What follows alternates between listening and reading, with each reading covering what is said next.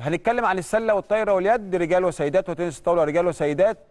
آه، يعني في موسم 2022 2023 استطاع النادي الأهلي هقول على البطولات ال 23 فقط النادي الأهلي إنه يحصد 22 بطولة. في رقم هو الأكبر الحقيقة على آه، مدار سنوات كتير 22 بطولة يعني جمعهم النادي الأهلي في 2023 واحتفلنا بيهم هنا في برنامج الأبطال. فلازم نذكرهم لحضراتكم بطولة بطولة لأن كل بطولة من دول يعني يعني فزنا بيها. بجهد وعرق وتعب مش بس وتخطيط و و ومساندة من مجلس الإدارة والنشاط الرياضي ومجهود من جهاز الأجهزة الفنية واللاعبين أو اللاعبات. هنبتدي بكرة اليد أو فرق كرة اليد؟ رجال. الحقيقة كان عندنا سبع بطولات خمسة رجال واثنين سيدات. خلينا أذكرهم لحضراتكم وت- وتواريخ التتويج أيضا. هنبتدي بأول بطولة في في كرة اليد كان دوري المحترفين 8 إبريل 2023 كأس مصر 15 إبريل بعديه بأسبوع 2023 أنا بتكلم على الرجال كرة اليد الآن. السوبر الأفريقي 7 مايو. تابعناه هنا على شاشة قناة النادي الأهلي لو حضراتكم تفتكروا. دوري أبطال أفريقيا 7 أكتوبر. وكأس السوبر المصري في الإمارات الشقيقة بتاريخ 9 ديسمبر. دول الخمس بطولات اللي كانوا في 2023 بالنسبة لكرة اليد رجال في النادي الأهلي. هنروح لكرة اليد سيدات. كان بطولتين في 2023 ألا وهم كأس مصر 21 إبريل ودوري العمومي 29 إبريل بعديه بثمان أيام. دول كانوا البطولتين اللي حصل عليهم كرة اليد سيدات بمجموع سبع بطولات من أصل 22 بطولة حصل عليهم فرع اليد. هنا بتكلم على الفريق الكبير. لو اتكلمت عن قطاع الناشئين والناشئات زي ما قلت لحضراتكم إحنا محتاجين ثلاث أربع حلقات عشان نجمع لحضراتكم قد إيه جهد المبذول جوه النادي الأهلي. النادي الأهلي النهارده يعني لما بيكون بيحتضن هذا الكم الهائل من اللعيبة وال... والأنشطة الرياضية يبقى بنتكلم عن مؤسسة كبيرة. طبعا دي لحظات من لحظات التتويج آه، ولحظات عشناها وفرحنا بيها في 2023 لو حضراتكم تفتكروا آه، ده كان السوبر الأفريقي اللي كان في صالة الأمير عبد الله الفيصل. لو تفتكروا حضراتكم والنادي الأهلي يحتل المركز الأول في صالة الأمير عبد الله الفيصل والنادي الأهلي استضاف هذه البطولة وكان بعديها بطولة أبطال الكؤوس الأفريقية. آه، طبعا اللحظات دي كلها عشناها ومنصور أريمو رئيس الاتحاد آه، وكابتن غزاوي يعني كل اللحظات دي عشناها مع شاشة قناة النادي الأهلي ومع أبطالنا في فرع كرة اليد رجال وسيدات. الحقيقة كان الموسم اللي فات بالنسبة لفرع كرة اليد هو المميز منذ سنوات، كنا الحقيقة بنكسب آه بس ما كناش بنكسب هذا القدر من البطولات. يمكن فريق الرجال بطل الدوري والكأس والسيدات بطل الدوري والكأس جمعوا بين الأربع بطولات المحلية والسوبر المصري كمان بالنسبة للرجال جمعوا. يعني اللي قصدي أقوله إنه كان موسم ناجح عن كرة اليد وجماهير النادي الأهلي هنا بتطالب بتكرار هذا الموسم التاريخي. هذا الموسم التاريخي يتكرر إن شاء الله السنة دي كمان 2024 وإحنا قدها. فرقتنا قدها وقدود وكان من أيام السوبر المصري وإن شاء الله يكملوا مسيرة الفوز والمكسب في فرع كرة اليد. وما ننساش هنا ابدا دور المهندس خالد العوضي آه، مدير النشاط الرياضي. وطبعا فريق السيدات ده بطولة كأس مصر كمان اللي فزنا بيها. أنا عايز أقول لكم إن إحنا كنا فقدنا اللقبين في الموسم اللي قبله ولكن الموسم اللي فات استطعنا سيدات النادي الأهلي بحصد البطولتين الكأس والدوري. نصرة عيد عبد الملك كابتن الفريق. وهي وهي يعني طبعا أنا ما أقدرش يعني الحقيقة الصورة دي تعدي معالي الوزير العمري فاروق. ربنا يشفيك معالي الوزير. كان موجود وموجود بقوة في كل البطولات اللي فاتت. بنفتقدك يا معالي الوزير. إن شاء الله تقوم بالسلامة وكل دعوات الأهلاوية معاك. إن شاء الله تبقى أزمة وعدت وترجع تاني تنور مكانك في النادي الأهلي. عمرنا ما هننسى اللحظات دي وعمرنا ما هننسى كمان اللحظة وال- والأزمة اللي بيعدي بيها معالي الوزير. وهنفضل دايما ندعي له حتى يستجيب لنا الله سبحانه وتعالى بشفائه التام وعودته مرة أخرى إلى النادي الأهلي. دي ك... دي ك... نروح بقى على لعبة تانية يعني يمكن كرة اليد تذكرنا مع بعض البطولات واللحظات الجميلة اللي إحنا عشناها نروح لكرة السلة. كرة السلة في النادي الأهلي أو فرع كرة السلة في النادي الأهلي يعني كان نصيبه النصيب الأكبر بتسع بطولات النصيب الأكبر بتسع بطولات في 2023 من أصل 22 بطولة اتحصدوا في الثلاث ألعاب سلة وطايرة ويد بالإضافة إلى تنس الطاولة.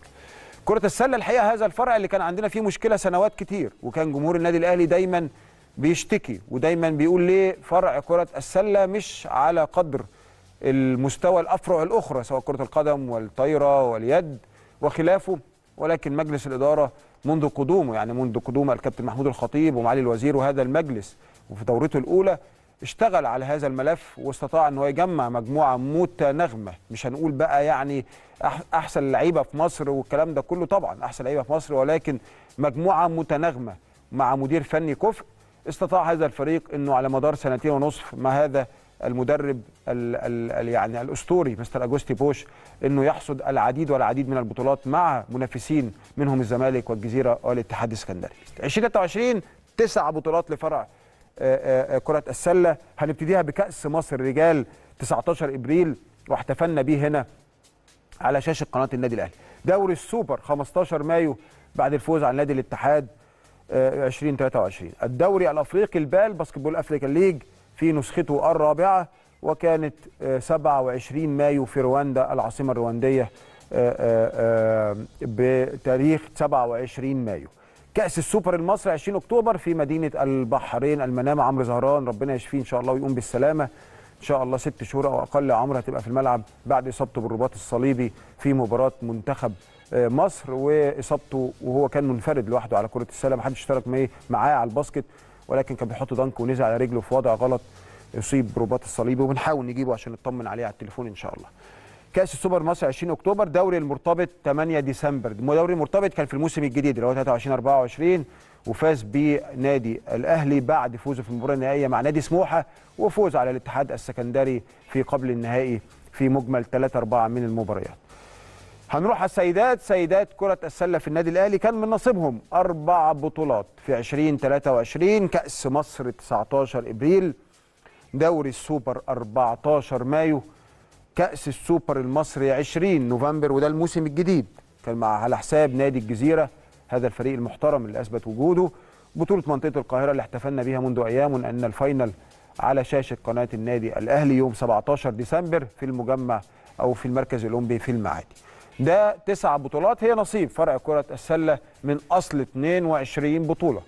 حصل عليها الأفرع الأربعة سلة طايرة يد وتنس الطاولة. هنروح لفرع الكره الطائرة. يمكن ما كانش أحسن المواسم للكره الطائرة. نعم نعترف بكده ولكن لم يكن ابدا موسم صفريا على النادي الأهلي.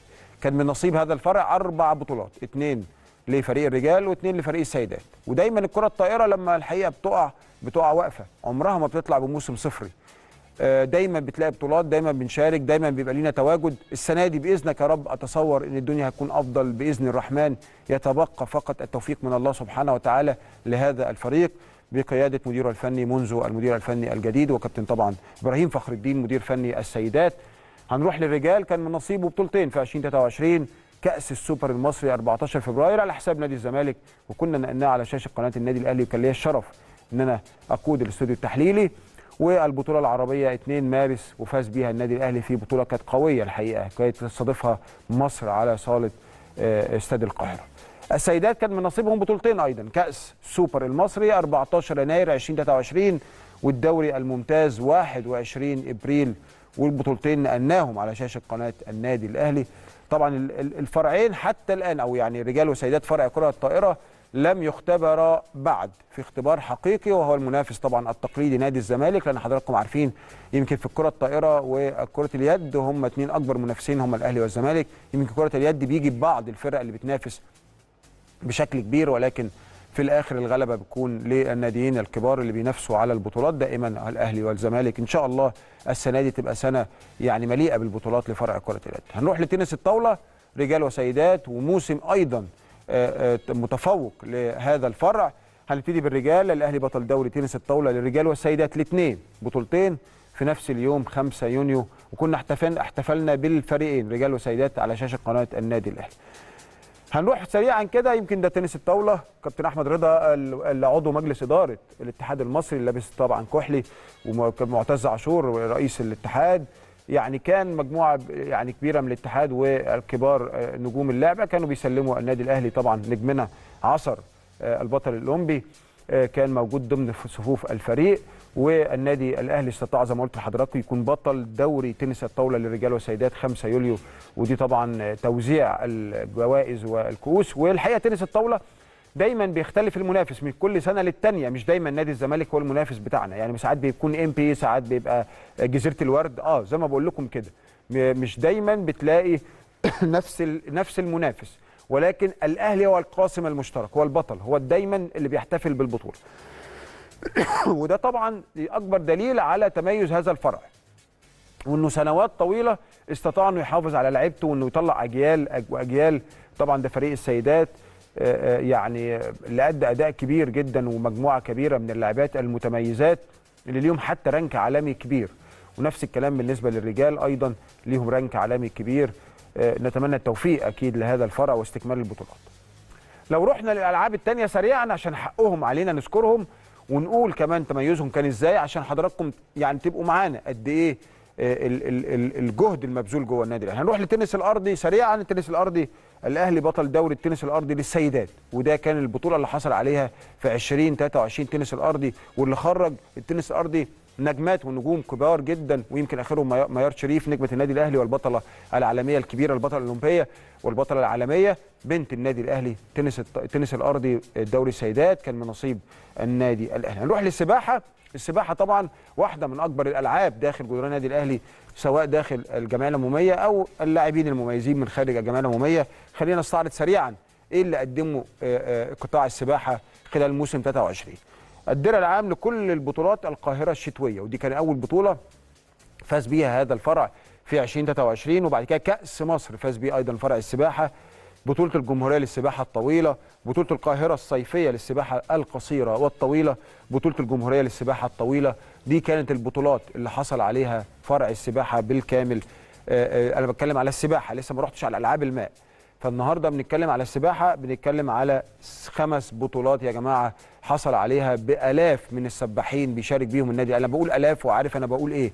إحنا عندنا أربع فروع كل الفروع بتدار فيها أو بيتواجد فيها السباحة فعندنا قاعدة من آلاف السباحين قاعدة كبيرة جدا جدا محتاجة حلقات نفرد ونتكلم عنها بقيادة المحترم الكابتن وائل عزت الحقيقة يعني آه، أب لكل دول ومركز مع كل ما رئيس جهاز السباحة والعاب الماء مركز كويس جدا مع كل الاربع فروع وخرج لنا أبطال كبار. نروح لكرة الماء هذا الفرع اللي شهد يعني دعم كبير آخر ثلاث أربع سنوات وكان طبعا كابتن محمود الخطيب هي كرة الماء والبطولات والسماعة والأغاني الشهيرة في التتويج. كرة الماء اللي بعدنا فترات كبيرة عن البطولات ولكن هذا الفريق وهذا الجيل استطاع بعد دعم مجلس الإدارة والمجهود إنه يرجع تاني لمنصات التتويج. علم النسر ونسر النادي الأهلي اللي بيتوج في حمامات السباحة على مستوى مصر. كرة الماء بطولة الدوري بعد غياب سنين طويلة. الحقيقة حصل النادي الأهلي آه، على بطولة آه، الدوري العام في كرة الماء.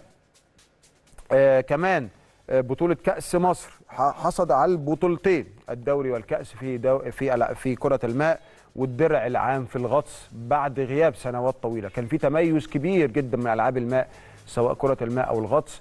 النهارده أنت بتتكلم عن أبطال أولمبيين أبطال كبار جدا وما زال هذا الفرع يقدم الكثير والمجهود عشان يحافظ على المستوى ده. دايما بيتنافس كان مع نادي هليوبلس والمنافسة كانت مع نادي الجزيرة. فطبعا كان الأندية دي أندية كبيرة جدا في كرة الماء ولكن استطاع الحمد لله النادي الأهلي إنه يعود تاني لمنصات التتويج كأول مش تاني أو تالت لأ كأول مصر.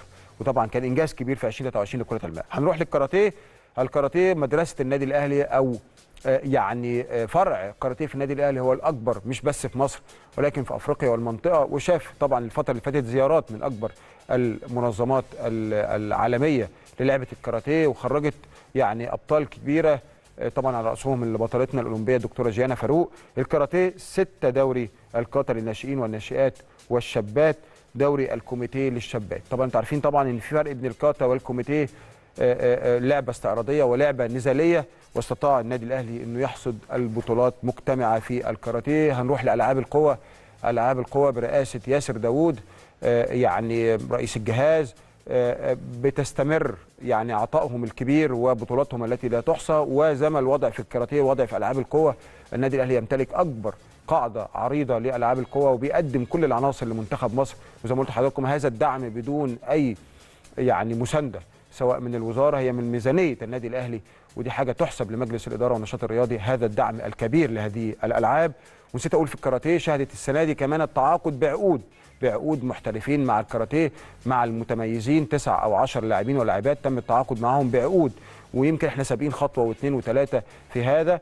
هنروح لألعاب القوى الدرع العام لجميع البطولات الجمهورية بداية من مرحلة 16 سنة ناشئين وناشئات حتى الدرجة الأولى رجال وسيدات كله آه، الحقيقة آه، فوز فوز فوز في الدرع العام لجميع البطولات.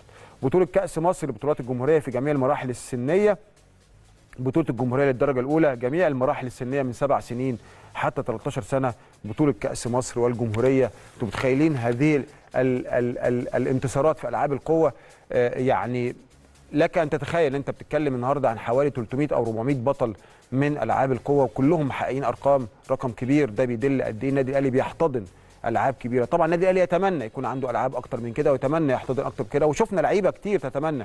يعني البدل من ال- الألعاب اللي إحنا استضفناها اللي ما عندناش فريق ولكن بيتمنوا كل اللعيبة اللي إحنا قعدنا معاهم والاجهزه الفنية إن النادي الأهلي يكون عنده فريق البدل. محدش يعرف بكرة مكتوب إيه ولكن كله يتمنى النادي الأهلي يحتضنه كله يتمنى إن يتواجد ليه يكون تواجد وقميص النادي الأهلي. ده كان حصاد 2023 لكل الألعاب سريعا. نتمنى التوفيق وتبقى سنة سعيدة على النادي الأهلي وجماهيره والمزيد من الفرحة والانتصارات. عندنا بطولات أفريقيا يستضيفها النادي الأهلي في كرة الطائرة. نتمنى إن شاء الله تبقى إنجاز جديد عشان هنروح بعديها لبطولة العالم. يا رب رجال وسيدات كمشاركة أولى بعد غياب للفرق الأفريقية عامة ما كانتش بتشارك في بطولة العالم عشان فرق المستوى ولكن الاتحاد الدولي قرر بطل أفريقيا هذه السنة رجال وسيدات للكرة الطائرة. وكان هنا النادي الأهلي في الميعاد وطلب استضافة البطولتين على صالة الأمير عبد الله الفيصل. إن شاء الله غالبا هتبقى في شهر مايو القادم. كل التوفيق. سنة سعيدة على النادي الأهلي في الألعاب الأخرى. نتمناها سنة سعيدة أيضا في 2024